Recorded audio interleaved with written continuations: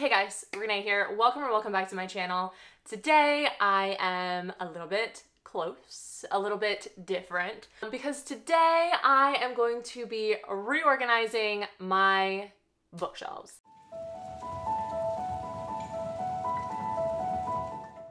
Now, I don't have much, but it is a mess. Like, you can't fully see it right now, but this, this is chaos. I don't like it, and it is just getting ridiculous. I have books all over, like the top, the table, the bench over here, that I just have nowhere to put. So, actually, let me see if I can zoom out a little bit. Hold on. Do you see all this? Like, look, I have books, like, over there, all that, and then, like, over here we have more, and it's just, like, all a mess. So, it is my goal today to fix all this. Um, I don't know how this is gonna look in filming because my bookshelves are short. I have very short shelves, so you might see me crawling around, but we're just gonna do it. My plan is to come up with a better system for the books on my actual shelf. And then I also have bookends. Actually, this Amazon package up here, I don't know if you can see it, um, is my bookends because I want to start putting books up here to utilize space. So yeah, let's just get started.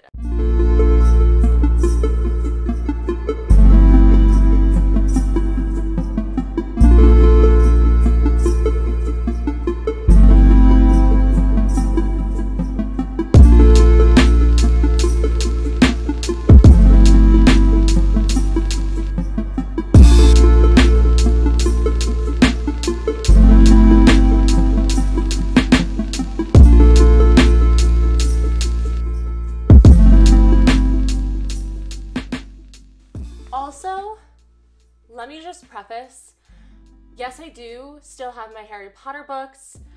No, I do not support J.K. Rowling. No, I will not be buying anything from her in the future to support her. But that being said, I do still have my Harry Potter books from when I was a kid. I've had these books since I was like a child. So I hope that that doesn't rub anybody the wrong way because I know, you know, J.K. Rowling's an awful individual, but you are going to see them in this video, but I'm not going to talk about them. So I just wanted to preface that.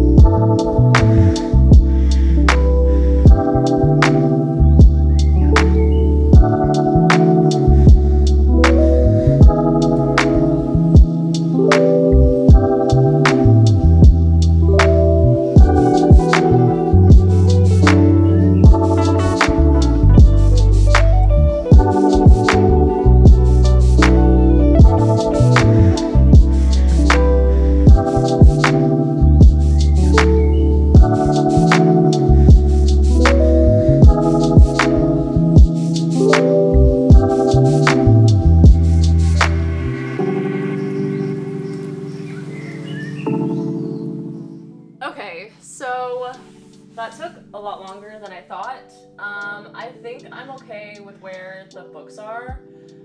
So now I'm just gonna decorate a little bit.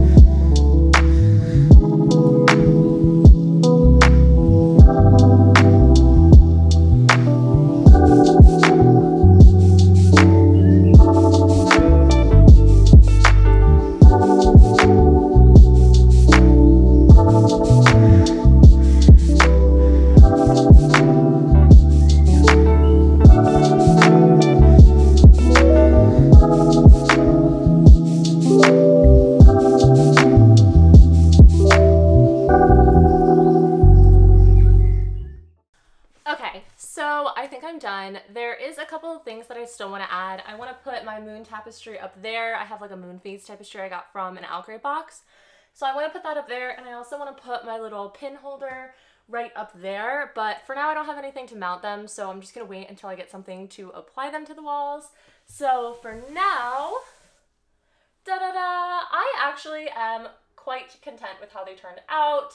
Um, they are much more organized, and I like that now all of my books actually have a place because my books were like just thrown everywhere. So, yeah, uh, let me show you. So, yes, I did kind of just want to go over like my thought process of this. I'm not going to do an actual tour, but I just wanted to kind of go over like why I put things where because I feel like this only makes sense in my head. So I'm actually going to start with this section and these are all of my thrillers and horrors. And everything for every section is in alphabetical order by author. So it's not by height or anything like that or color because I am very much an alphabetized person. And then these two are kind of awkward down there. These are my books that I didn't really know how else to categorize them besides, I don't know, literary fiction.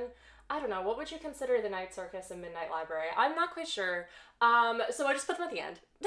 and then this is my manga shelf. My manga shelf, unfortunately, is not that large um, because I am just now starting to actually buy manga.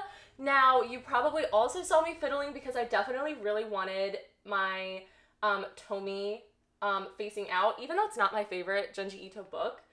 I just like the cover of it the best. Uzumaki is actually my favorite. But I wanted something horizontal on the shelf, and I couldn't fit it until I made my favorite shelf, and I was able to take Orange Volume 1 off. So that ended up working. And then under here is kind of my hodgepodge shelf. I have my comics. I have a bunch of random comics. And then graphic novels starting from Marvel all the way over to Fangs. And then I just have a couple short stories and poetry collections, and then my Shadow and Bone box set down there. You'll see like random crystals all throughout my shelf. I have crystals all around my house because I am a crystal person, and this is actually my favorite one. It's labradorite. So I have chunks of this all over the place. And then down to this side, this is actually my favorite side of the shelf. So this top shelf here is my um, subcategory shelf, I'm gonna call it. Um, three of my favorite things to read about are witches, vampires, and mythology. And since I don't have a lot of physical books of those subcategories, I just put them all on one, on one shelf. So we have my witchy books, vampire books, and mythology-based books all on one shelf. I was also able to put this print of Lazlo Strange and Sarai from Strange the Dreamer on here. I really wanted to display this. And since I can't put it on my wall yet, I felt like this was the perfect empty spot to put it on my shelf because I absolutely am obsessed with that print. Um, and then I have my Selenite Tower. I felt like it was fitting to put it with my witchy books. So yeah. And then I have my romance shelf. And then down here we just have a whole shelf of good old fantasy, once again organized by author and with a little Aragonite cluster down here. So yeah, that's pretty much um, this section of the shelf. And then up here we have my favorites um, section. So these are some all-time favorites of mine. Um, I almost didn't put From Blood and Ash up here because it's not technically like an all-time favorite, but it is a very strong five star that I really, really love. But like The Cruel Prince, Strange the Dreamer, Wicked Fox, Daisy Jones and the Six, Orange, like these are some of my favorite books of all time, and I really love that I was able to face out Strange the Dreamer. Um, so yeah, and that's what I was trying to say earlier. moving orange up here, I originally wasn't going to put any manga up here because I felt like Junji Ito could easily be up here too, but putting orange up here made it possible to to to put Tomie outwards. So it was like fine. Yeah, those are my shelves and then I also just reorganized my little bench over here. This took a lot longer than I thought considering how small my shelves are and I don't even have nearly as many books as other people. I cannot imagine how long this takes for the people that have like a whole like room like wall in your room of like the tall shelves like wow so i'm just gonna slide on in here and hopefully this looks fine but i just wanted to close this out. So yes this these are my new bookshelves. You'll be seeing these more often in my videos. Feels so good to have them organized um, but that is pretty much all I have for you today. So if you like this video, don't forget to hit the thumbs up down below to help support this channel. And also subscribe if you'd like to follow me on my reading journey. Like always, all of my social media links will be down below. Instagram, Twitter, Goodreads, the works if you'd like to follow me more closely there. And once again, I hope you like this video and I will see you in the next one. Bye!